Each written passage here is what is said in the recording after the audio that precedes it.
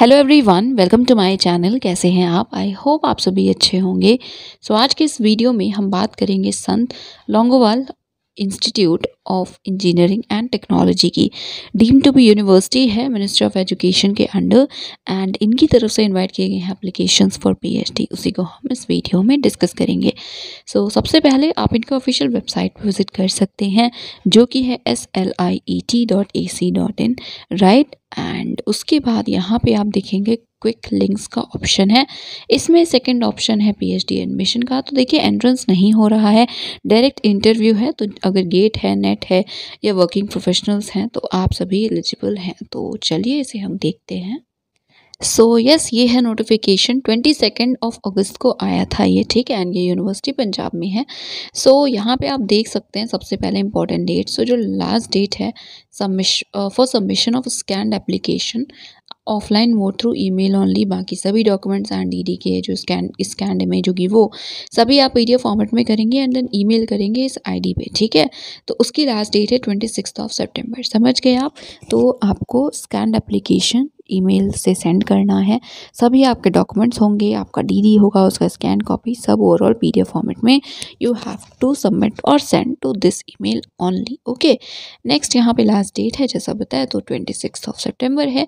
Also आप जब ये कर देंगे सेंड कर देंगे तो इस मोबाइल नंबर पे इन्फॉर्म भी करना है राइट बाकी फॉर्मेट जो है वो इसी पर्टिकुलर नोटिफिकेशन में अटैच्ड है, अभी हम देखेंगे।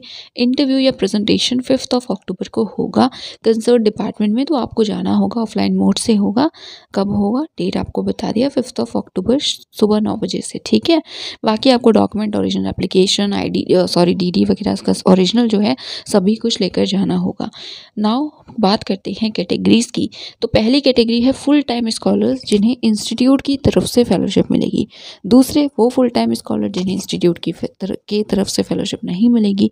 थर्ड पार्ट टाइम फोर्थ है रिसर्च असिस्टेंट्स का एंगेजमेंट एंड फिफ्थ है working professionals for part time PhD so one two four जो पॉइंट्स हैं, जो कैटेगरीज हैं, उनके लिए एलिजिबिलिटी क्या है? देखिए, आपके पास गेट या नेट होना चाहिए लास्ट फाइव इयर्स में। दैट इज़ ट्वेंटी नाइनटीन या उसके बाद नेट या गेट क्वालिफाई आपने किया हो डिसिप्लिन में।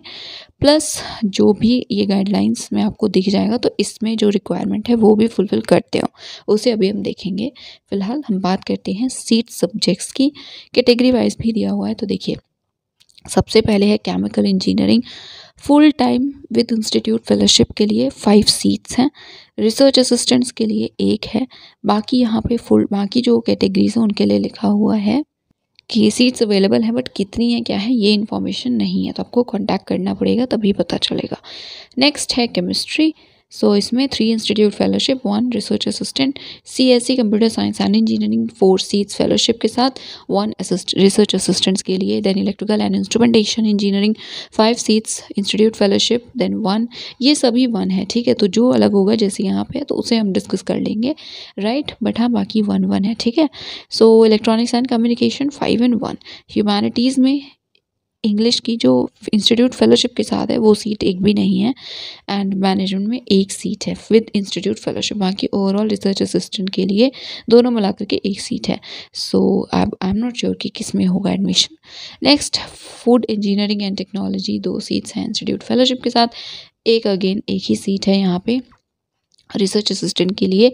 Then mathematics three fellowship one research assistant then mechanical engineering three plus two physics five and one interdisciplinary research three seats institute fellowship बाकी research assistants nil then central facility में एक seat है research assistant के लिए and institute fellowship के साथ एक भी सीट नहीं है, ठीक है? नेक्स्ट यहाँ पे है सीट्स बाकी आर ए के लिए भी है. Seats are also available for engagement as R A fellowship इस केस में कितनी है? ट्वेंटी फाइव थाउज़ेंड है पर मंथ उनके लिए जिन्होंने गेट नेट वगैरह क्वालिफाई किया हुआ है. एंड अभी हम इसे भी देखेंगे, ठीक है? नेक्स्ट येस एलिजिबिलिटी जो एग्जीक्यूटिव्स हैं उनके लिए क्या है? तो आप, अब आपके पास देखिए रेपुटेशन ऑफ़ कंपनी जहाँ पे आप वर्क कर रहे हैं राइट right? उसके बाद डिफेंस या अदर मिनिस्ट्रीज़ वगैरह में है तो आप भी एलिजिबल हैं। नेक्स्ट इंडस्ट्रियल रिसर्च वगैरह में है तो या फिर ऑटोनमस बॉडीज़ हैं एंड पब्लिक अंडरटेकिंग्स हैं तो उस, आप उस केस में भी एलिजिबल हैं। तो आपका एम्प्लॉयमेंट कहाँ है? बेसिकली वो लिखा हुआ है। देन रिक्वेस्ट क्वालिफिकेशन क्या है? अगेन पेज नंबर हमें दिया हुआ है, अभी हम इसे देखेंगे। नाउ आपके पास इनमें से एक एटलीस्ट एडिशनल रिक्वायरमेंट आप फुलफ़िल करते हो। गेट हो आपके पास अगेन लास्ट फाइव ईयर्स में हो, या फिर आपका सिलेक्शन नेट यूजीसी नेट के थ्रू हुआ रहा हो, या आपने गेट क्वालिफाई किया हो अगेन वही लिखा हुआ है तो प्लीज़ इन सभी पॉइंट्स को पढ़ लीजिएगा। ये भी रिक्वायर्ड है, ठीक है?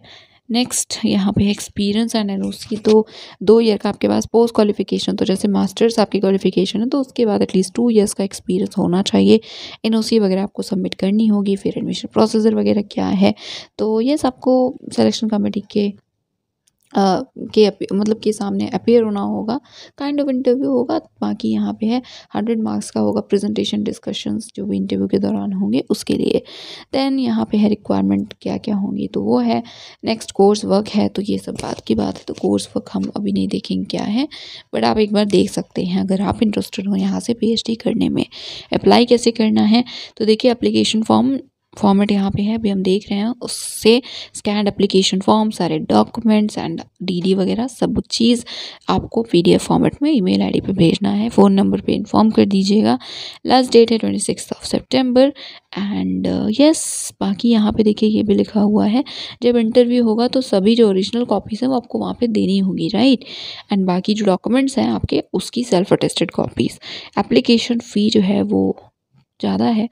टू ज़ीरो सिक्स फाइव है, जो भी ऑब्वियसली जनरल अदर कैटेगरीज़ के हैं।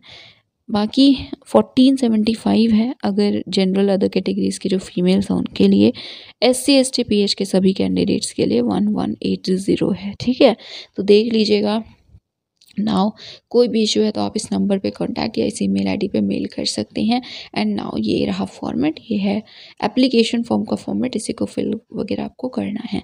अब हम देख लेते हैं जो यहाँ क्राइटेरिया के लिए पेज नंबर्स मेंशन किए गए हैं उन्हें।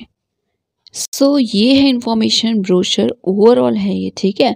हमें कुछ स्पेसिफिक पेज नंबर्स देखने हैं तो हम उन्हें देखते हैं। So yes chapter seven page number यहाँ पे आप देख सकते हैं फोर्टी फाइव है एंड इसमें पीएचडी प्रोग्राम की इंफॉर्मेशन है, ठीक है? सो एलिजिबिलिटी क्राइटेरिया क्या है? यही हमें देखना था। So B B engineering technology के सब्जेक्ट्स के लिए बी बी टेक और M T M E M tech हो। तो देखिए बी क्या है तो बी एम ई हो या बी टेक एम टेक हो या फिर इंटीग्रेटेड मास्टर्स डिग्री हो आपके पास इंजीनियरिंग टेक्नोलॉजी में या इक्वलेंट और डिग्री हो फ़र्स्ट क्लास के साथ।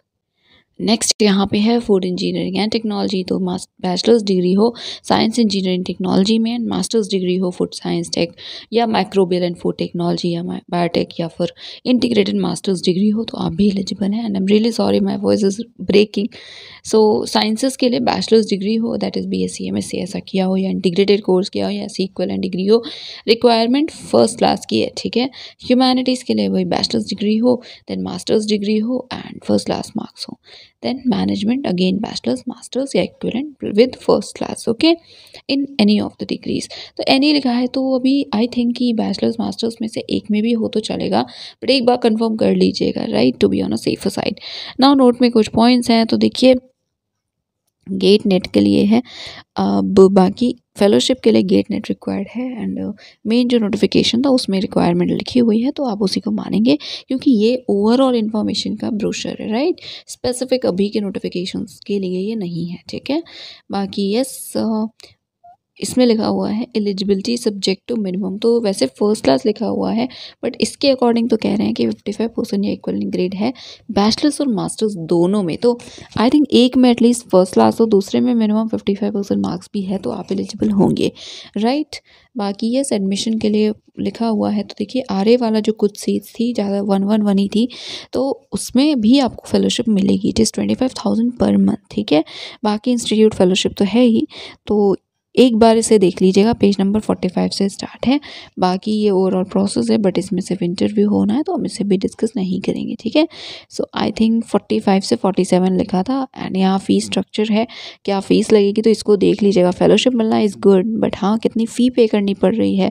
देन आप कहीं और रहेंगे तो ओवरऑल ऐसा ना हो कि आप लॉस में हो, ठीक है?